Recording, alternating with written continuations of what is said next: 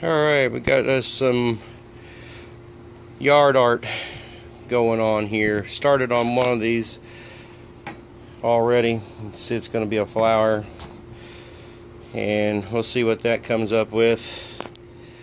I got some bug eyes. And here's another project. Some old pallet wood. We'll show you what that's going to turn out to be.